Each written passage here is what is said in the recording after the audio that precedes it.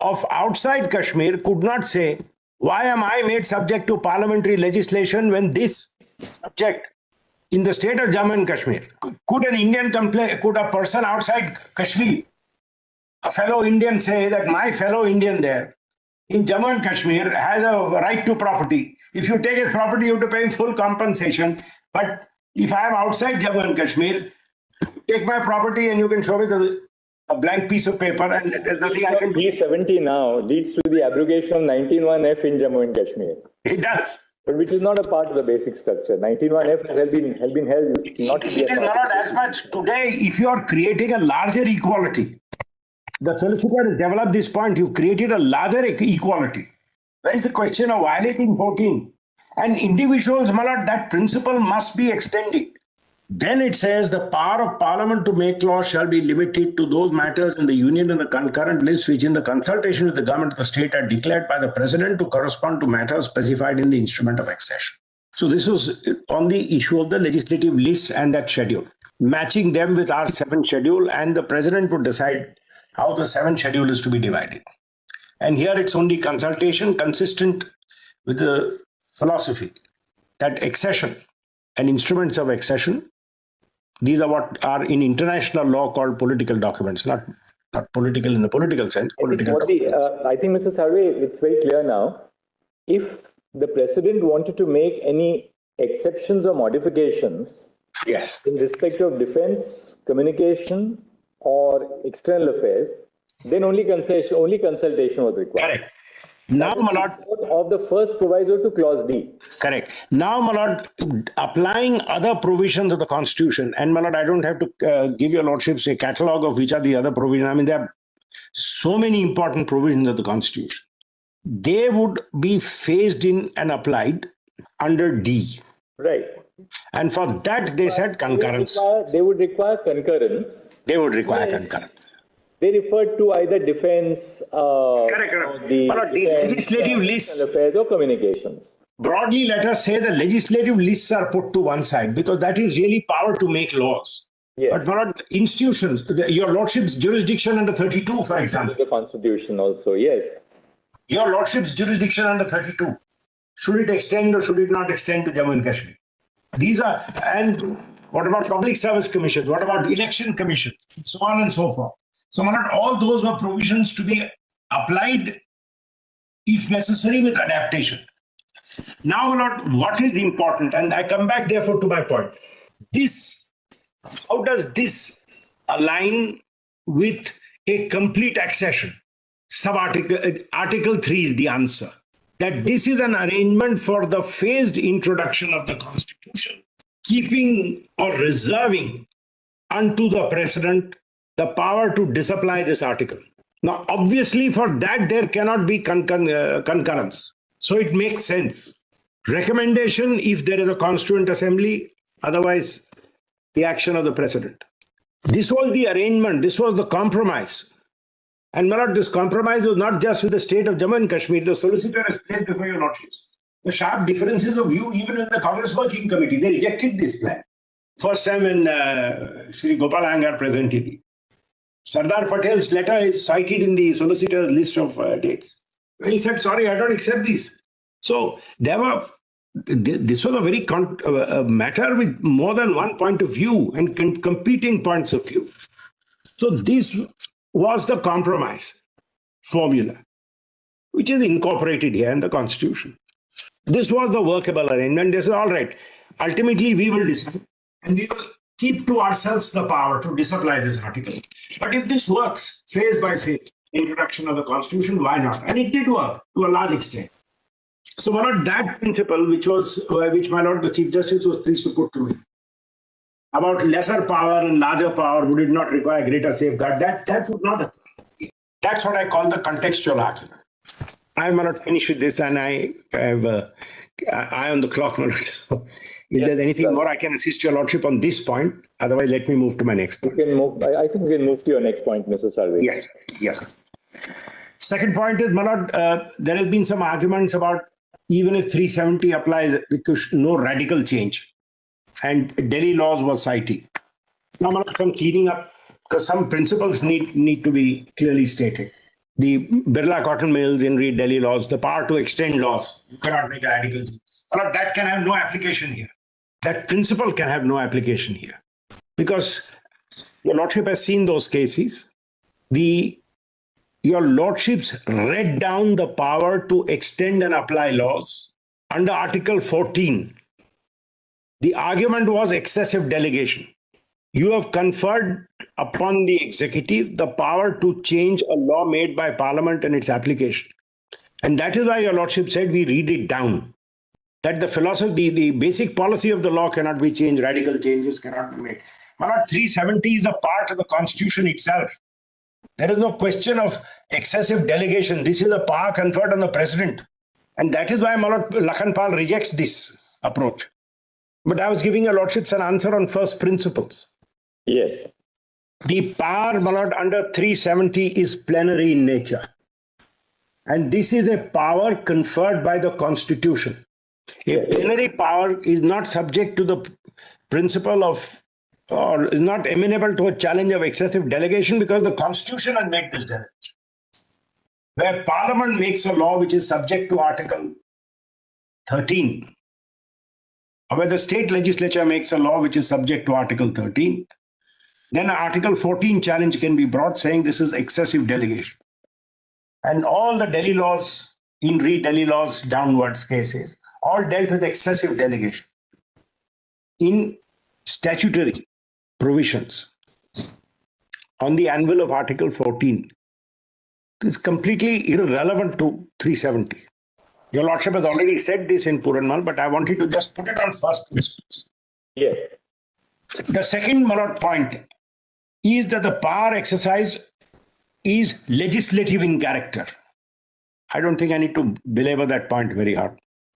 Applying provisions and disapplying provisions, modifying provisions of a law is legislative in character. I don't think I need to cite authority for that matter. To suggest that this is an executive power is like saying ordinance making is executive power and it is done by orders. Malad, I'll just give your lordship a citation. 1972, one Supreme Court case is 148, just for reference. Where your lordships have said that because there also the president can by order say this and by order say that. You're not saying so this is now what what follows from a plenary power and a power which is legislative in character.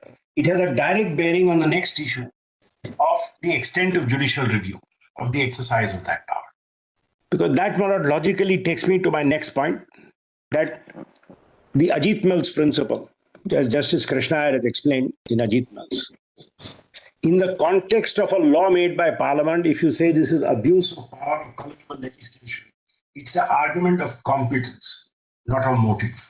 That is Malad the Ajit Mills principle. Your Lordship knows when the first law was made, saying uh, if you've collected illegal sales, sales tax, which is not chargeable, if you've collected, you pay.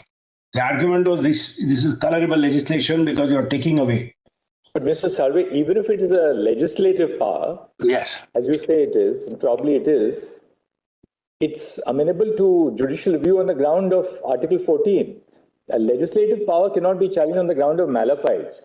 Instance, you cannot Exactly. say that Parliament did something because of a malafide intent, because you don't attribute malafides to a collective body of individuals. That's the reason for That's correct, More than that, Nagaraj, when they re- reduced the age of retirement, uh, our court said you can't challenge uh, the reduction in the age of retirement on the grounds that Parliament was acting malafide because it's a collective body. Malafide that is, is something which you attribute to an individual. more, more than that, Malad, your lordships have always said where it comes to colorable device, supplementary, eh, and all these, Actually, they started it that is really a competence argument. color, colorable exercise of power in Tulloch, our court said.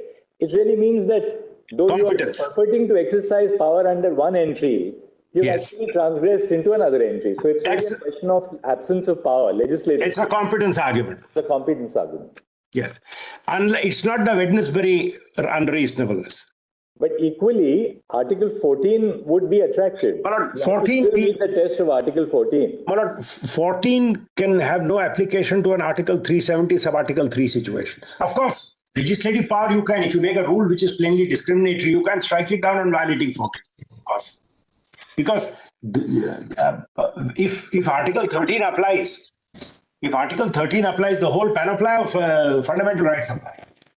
But therefore, assuming that this is a legislative power, it is not immune to challenge on the ground of violation of fundamental rights. Correct.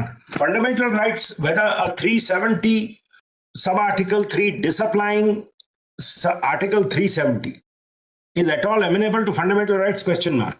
I'll tell you, I uh, address your lordship for a, for a minute on that. Because this is a relationship between the union and a f- unit of that union. We are now units of that union. They may be parts of that relationship which create rights in favor of individual citizens. Or not if, if it affects an individual, A classical part of that, the provision of the on on on the right of residence. An individual, for instance, can say that I and people belong to my class have the exclusive right of residence in this state. By bringing in others, you are affecting my right under Article 14. Whether there's substance or not is a different thing altogether. But it's amenable to that challenge. You can't say that the challenge is immune. My lord, I, I, I would respectfully submit applying or disapplying the constitutional provision would not give a individual citizen a right because I'll tell you lordship, I, this takes us back to the basic principle of this is adjusting the accession. Now, my lord, in international law, for example, a a citizen can never assert that I had certain rights under an earlier legal regime. And now there is an accession, those rights should be continued. Your Lordships have rejected of outside Kashmir could not say, why am I made subject to parliamentary legislation when this subject in the state of Jammu and Kashmir? Could an Indian complain, could a person outside Kashmir, a fellow Indian say that my fellow Indian there in Jammu and Kashmir has a right to property. If you take his property, you have to pay full compensation. But if I am outside Jammu and Kashmir, take my property and you can show me the, a blank piece of paper and there's nothing I can do. G70 now leads to the abrogation of 19.1F in Jammu and Kashmir. It does. But which is not a part of the basic structure. 19.1F has been, has been held not be It a not as much today if you are creating a larger equality. The solicitor has developed this point. You've created a larger equality. Where is the question of violating 14? And individuals, my lord, that principle must be extended. Then it says the power of parliament to make laws shall be limited to those matters in the union and the concurrent list which in the consultation with the government of the state are declared by the president to correspond to matters specified in the instrument of accession. So this was on the issue of the legislative lists and that schedule, matching them with our seventh schedule, and the president would decide how the seventh schedule is to be divided. And here it's only consultation consistent with the philosophy that accession and instruments of accession, these are what are in international law called political documents, not not political in the political sense, I think, political the, uh, I think, Mr. Salve, it's very clear now. If the president wanted to make any exceptions or modifications Yes. in respect of defense, communication, or external affairs, then only consultation, only consultation was required. Correct. Now, my lord, Of the first proviso to clause D. Correct. Now, my lord, applying other provisions of the Constitution, and my lord, I don't have to uh, give your lordships a catalogue of which are the other provisions. I mean, there are so many important provisions of the Constitution. They would be phased in and applied under D. Right. And for that, they said concurrence. Require- They would require concurrence. They would require concurrence. They referred to either defense, uh, Correct, correct. or the, the legislative lists- affairs or communications. Broadly, let us say the legislative lists are put to one side because that is really power to make laws. Yes. But what lord, institutions, the- your lordship's jurisdiction under 32, for example. The constitution also, yes. Your lordship's jurisdiction under 32. Should it extend or should it not extend to Jammu and Kashmir? These are, and what about public service commissions? What about election commissions? So on and so forth. So, all those were provisions to be applied if necessary with adaptation. Now, what is important? And I come back therefore to my point. This, how does this align with a complete accession? Sub-article, uh, Article 3 is the answer. That this is an arrangement for the phased introduction of the Constitution keeping or reserving unto the president the power to disapply this article. Now, obviously, for that, there cannot be concur- uh, concurrence. So it makes sense. Recommendation if there is a constituent assembly, otherwise, the action of the president. This was the arrangement, this was the compromise. And lord, this compromise was not just with the state of Jammu and Kashmir, the solicitor has placed before your lordships. The sharp differences of view, even in the Congress Working Committee, they rejected this plan. First time when uh, Sri Gopal Angar presented it. Sardar Patel's letter is cited in the solicitor's list of uh, dates. He said, sorry, I don't accept these. So there were, th- this was a very con- uh, matter with more than one point of view and con- competing points of view. So this was the compromise formula, which is incorporated here in the Constitution. This was the workable arrangement. This is all right. Ultimately, we will decide and we will keep to ourselves the power to disapply this article. But if this works phase by phase, introduction of the Constitution, why not? And it did work to a large extent. So, my lord, that principle, which was uh, which my lord the Chief Justice was pleased to put to me, about lesser power and larger power would it not require greater safeguard? That that would not. apply. That's what I call the contextual argument. I'm not finished with this, and I have uh, eye on the clock. my lord. If there's anything sir. more, I can assist your lordship on this point. Otherwise, let me move to my next point. Can move, I, I think we can move to your next point, Mr. Salve. Yes, yes. Second point is, Manoj, uh, there has been some arguments about even if 370 applies, because no radical change. And Delhi laws was cited. Now, Manoj, some cleaning up, because some principles need, need to be clearly stated.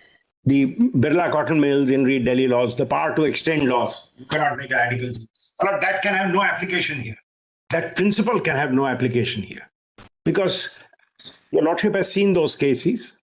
The your lordships read down the power to extend and apply laws under Article 14. The argument was excessive delegation. You have conferred upon the executive the power to change a law made by parliament and its application. And that is why your lordship said we read it down. That the philosophy, the basic policy of the law cannot be changed, radical changes cannot be made. My 370 is a part of the constitution itself. There is no question of excessive delegation. This is a power conferred on the president. And that is why Malot Lakhanpal rejects this approach. But I was giving your lordships an answer on first principles. Yes. The power, Malot, under 370 is plenary in nature. And this is a power conferred by the Constitution. A plenary power is not subject to the principle of, or is not amenable to a challenge of excessive delegation because the Constitution has made this delegation. Where Parliament makes a law which is subject to Article 13, or where the state legislature makes a law which is subject to Article 13, then an Article 14 challenge can be brought saying this is excessive delegation. And all the Delhi laws, in re Delhi laws downwards cases, all dealt with excessive delegation.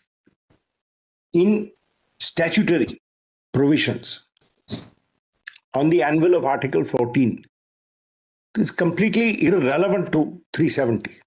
Your Lordship has already said this in Puranmal, but I wanted to just put it on first principles. Yes.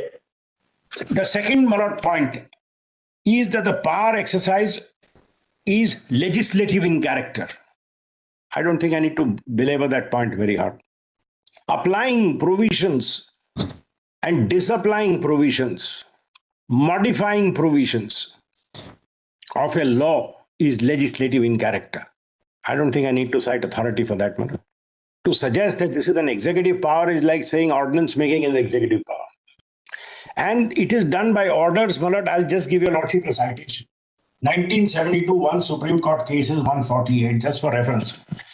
Where your lordships have said that because there also the president can by order say this and by order say that. You're not saying so this is now what what follows from a plenary power and a power which is legislative in character. It has a direct bearing on the next issue of the extent of judicial review of the exercise of that power. Because that logically takes me to my next point that the Ajit Mills principle, as Justice Krishna has explained in Ajit Mills, in the context of a law made by Parliament, if you say this is abuse of power colorable legislation, it's an argument of competence, not of motive. That is not the Ajit Mills principle. Your Lordship knows when the first law was made, saying uh, if you've collected illegal sales, sales tax, which is not chargeable, if you've collected, you pay. The argument was this: this is colorable legislation because you're taking away. But Mr. Salve, even if it is a legislative power, Yes. as you say it is, and probably it is, it's amenable to judicial review on the ground of Article 14. A legislative power cannot be challenged on the ground of malafide. For instance, you cannot Exactly. say that Parliament did something because of a malafide intent, because you don't attribute malafides to a collective body of individuals. That's the reason for That's correct. More than that, Nagaraj, when they re- reduced the age of retirement, uh, our court said you can't challenge uh, the reduction in the age of retirement on the grounds that Parliament was acting malafide because it's a collective body. Malafide that is, is something which you attribute to an individual. more, more than that, my lord, your lordships have always said where it comes to colorable device, supplementary, eh, and all these, Actually, they started it that is really a competence argument. color, colorable exercise of power in Tulloch, our court said. It really means that though you are Competence. purporting to exercise power under one entry, you've Yes. actually transgressed into another entry. So it's really a question of absence of power, legislative. It's a competence argument. It's a competence argument. Yes. And it's not the Wednesbury unreasonableness. But equally, Article 14 would be attracted. But You 14 still meet the test of Article 14. My lord, 14 can have no application to an Article 370 sub Article 3 situation. Of course, legislative power you can. If you make a rule which is plainly discriminatory, you can strike it down on violating 14. Of course. Because uh, uh, if, if Article 13 applies, if Article 13 applies, the whole panoply of uh, fundamental rights apply. But therefore, assuming that this is a legislative power, it is not immune to challenge on the ground of violation of fundamental rights. Correct. Fundamental rights, whether a 370 sub article 3 disapplying article 370 is at all amenable to fundamental rights question mark. I'll tell you, I address your lordship for a, for a minute on that. Because this is a relationship between the union and a f- unit of that union. We are now units of that union. They may be parts of that relationship which create rights in favor of individual citizens. But if, if it affects an individual, A classical part of that, the provision of the on on on the right of residence. An individual, for instance, can say that I and people belong to my class have the exclusive right of residence in this state. By bringing in others, you are affecting my right under Article 14. Whether there's substance or not is a different thing altogether. But it's amenable to that challenge. You can't say that the challenge is immune. My lord, I, I, I would respectfully submit applying or disapplying the constitutional provision would not give a individual citizen a right because I'll tell you lordship, I, this takes us back to the basic principle of this is adjusting the accession. Now, my lord, in international law, for example, a a citizen can never assert that I had certain rights under an earlier legal regime. And now there is an accession, those rights should be continued. Lordships have rejected